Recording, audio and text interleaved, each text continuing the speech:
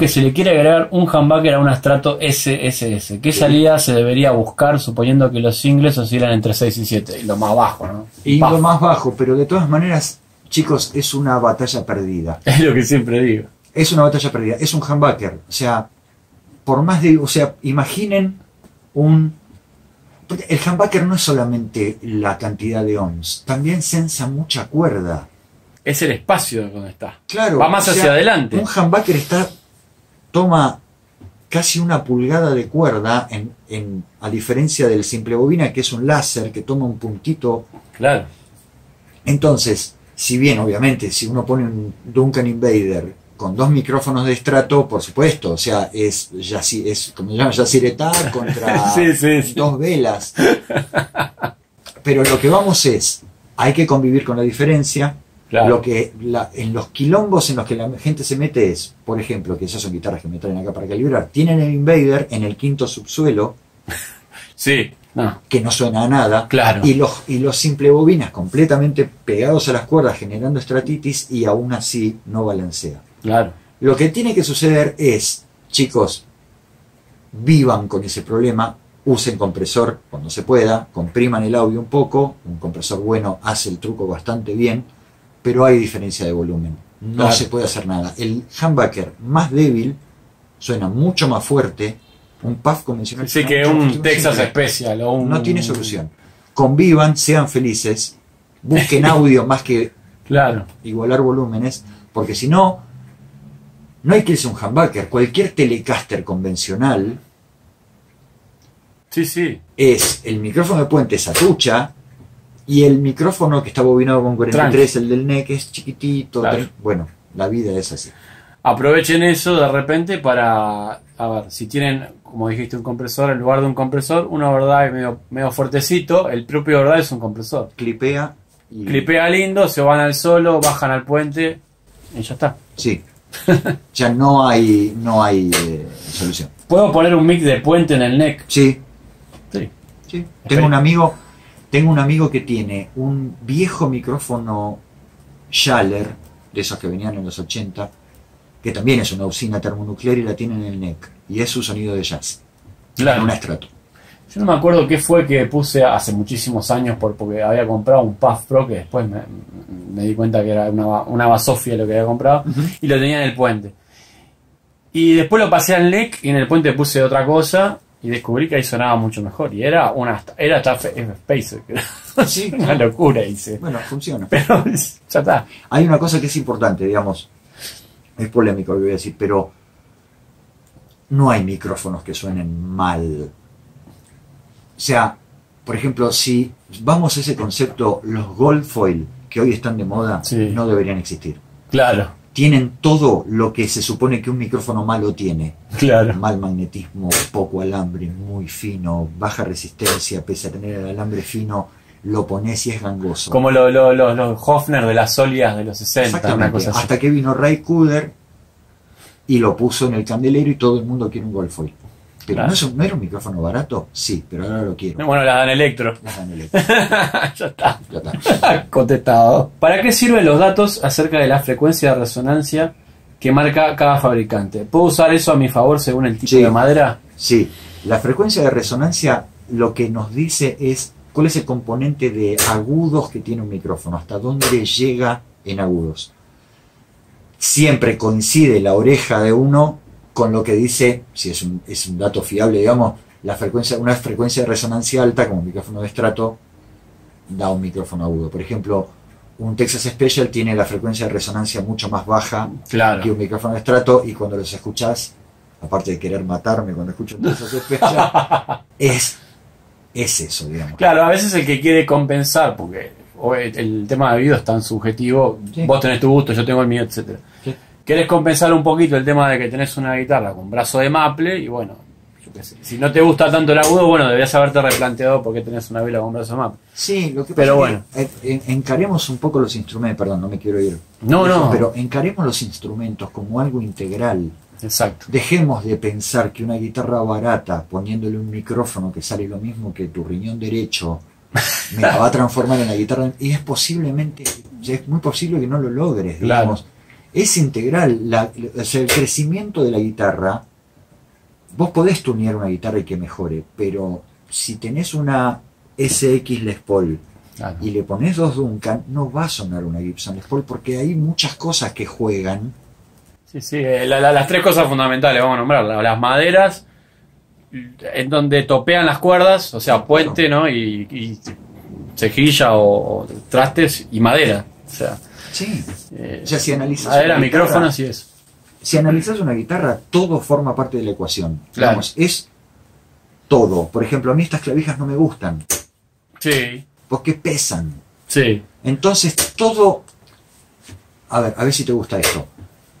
Una, un- una reforma clásica del jazz bass, clásica, que durante los 90 la hice, no sé, una vez por mes, era sacarle al jazz bass el puente de lata horrible ese que tiene, Mm. que está buenísimo, y poner un badass, Sí, fa, que es poner, viste, el guardabarros de un rastrojero. Sí, sí. Está bien. El bajo se pone más hi-fi. El puente es como una cosa inmune a la radiación tóxica, no se mueve y da un sustain ridículamente alto. Pero se pierde un poco de esa villa, de esa mugre que tiene el jazz bass, que para mí pierde. Obvio. Por supuesto, da un sonido que es agradable, pero está muy bien, pero lo pierde. Entonces, abre el sonido, pero y esto va a la batalla, la batalla por el sustain. Eh, claro. ¿Cuánto sustain hace falta? ¿Cuánto, cuán- eh, claro, ¿cuánto vas a dejar la nota colgada realmente? ¿Cuántas redondas? Un minuto vas a... ¿Cuántas redondas eh, ligadas necesitas tocar? ¿Cuántas semanas necesitas que un instrumento suene? Esa, esa- eso es lo que estás diciendo es... Es la pregunta del millón, digamos. el, el me falta sustain. es la patada del pecho unos cuantos músicos. O sea, Claro, ¿cuánto sustain te falta? ¿Cuánto sustain te falta? O sea, si vos agarrás una Gibson 175, guitarra que cuesta nuestros cuatro riñones, alcanzan, no son instrumentos con sustain, es una guitarra hueca. Cuanto más resonancia tiene un instrumento, menos sustain tiene. Claro. Porque vos para tener sustain necesitas que tenga poca resonancia. Estoy hablando de sustain real, no el sustain que lográs con pedales y con Sí, sí, sí, sí, sí. Bueno, entonces, el sustain, voy a decir algo que te van a putear todos, me van a putear todos, No, hay que me puteen a mí. que es, el sustain está en la perilla, misma perilla que la resonancia. Si querés sustain, perdés resonancia, y si querés resonancia, perdés sustain. Ambas cosas a la vez Claro. es polémico, ya sé, disculpen. No, está, eh, ahora él le va a poner está mi- mi WhatsApp abajo. Yo- ahora yo no, yo pongo abajo, yo me hago cargo. ¿Cómo es posible que algunos humbucker permitan tanta distorsión y otras como las Big, Big Lawrence L500 haga que todo sea tan limpio? No he entendido cómo funciona eso. En realidad no, digamos, los- ningún micrófono distorsiona. Ahí está. Ahí, empecemos para, por ahí. Para la puteada. Ahí Ahí vamos, va. para que nos puteen grosso. Todos los micrófonos son limpios. Lo que distorsiona, ya sé que pa- parece nimio el detalle, pero no es tan nimio. El micrófono lo que hace es expulsar lo que ve y no puede cor- recortarlo en distorsión. Simplemente genera más energía. Lo que genera distorsión es la etapa siguiente. Claro. Pedal, eh, pre, eh, equipo. El Lawrence también tiene mucho volumen, pero distorsiona en otro lugar, distorsiona en agudos. Todos los que han escuchado Pantera saben dónde distorsiona Pantera, las guitarras de Pantera. Y el tema es el siguiente. Bill Lawrence creó un micrófono con un núcleo de hierro muy... Son chapas, son muy chiquititos. Entonces, vamos a nuestro cuaderno feliz. Vamos. Está bien, está bien.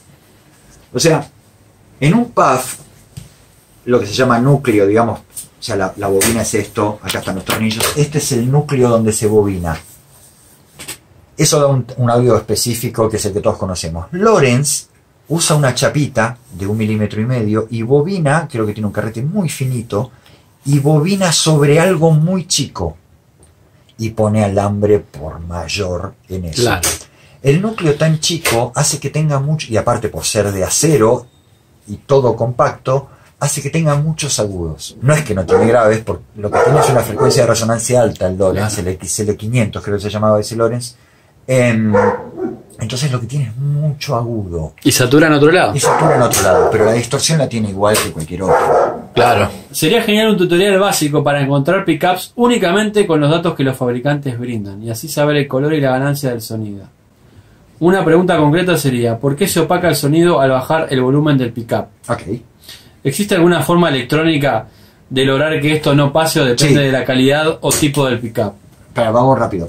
Cuando, o sea, en sistemas de impedancia medio altas o medias, como tienen las guitarras, cuando vos bajás el volumen, habría que explicar cómo funciona un potenciómetro, pero bajar el volumen significa que aparezca una resistencia entre el potenciómetro, entre la salida y el micrófono. Aparece una Y resistencia. recordemos que el micrófono tiene, va, tiene una un componente que no es, no es lineal, no es resistivo. Exactamente. Entonces, sea un filtro. Exacto, entonces empieza, lo primero que se quedan son los agudos.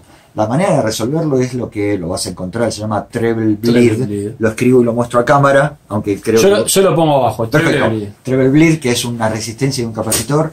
A mí me gusta más solamente el capacitor de 300 picofaradios, digamos. Por ahí. Se pone en los dos terminales de, del El- potenciómetro que no son masa Claro, exacto. y eso alivia mucho el- la bajada de volumen con brillo. Más arriba de 300 picos yo siento que el volumen se empieza a comportar de una manera muy extraña y más abajo de 300 picos siento como que no hay ningún efecto copado. Lo importante es lo que dijiste, alivia. Porque hay gente que dice, ah, con esto ya está. No. No, Alivia. lamentablemente no. Es otra de las cosas de tener una de estar enamorados todos nosotros de una tecnología de hace 70 años Es verdad. con instrumentos que los amamos, ¿eh? no estoy criticando, pero los instrumentos siguen siendo de madera, Claro. los micrófonos siguen siendo dos cartones, Claro. manes en el medio. ¿En qué evolucionó la guitarra? No Eh, evolucionó. El 90% de los, de los guitarristas que usan no evolucionó. Después hay gente que usa con mil. ¿Cuál es la esto. Telecaster ideal? ¿Cuál es la Telecaster ideal de cualquiera? Es la tabla de Fresno con el pedazo de maple, el puente de lata, Totalmente. los dos cartones del micrófono del bridge con 10.000 vueltas o 9.200 Sí, vueltas de alambre. Sí, que después haya gente que use otras cosas. Por supuesto, pero pero en general, que busca la Telecaster, o la Telecaster, la Strator, el Spawn, Tal cual la diseñó Leo cuando ninguno de nosotros había nacido. ya está.